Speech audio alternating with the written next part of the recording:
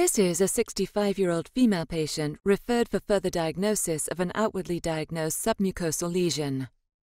Endoscopy revealed a submucosal mass of 2 centimeters in diameter, a normal overlying mucosa, and a slight bulging in the gastric lumen.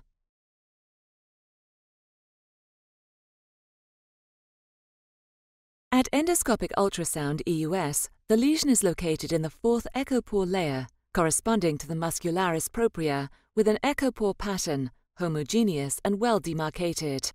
Endoscopic ultrasound fine needle aspiration EUS-FNA confirmed the diagnosis of a c-KIT CD117 positive gastrointestinal stromal tumor GIST with 4 mitoses per high power field HPF graded as low risk according to a consensus approach of 2002.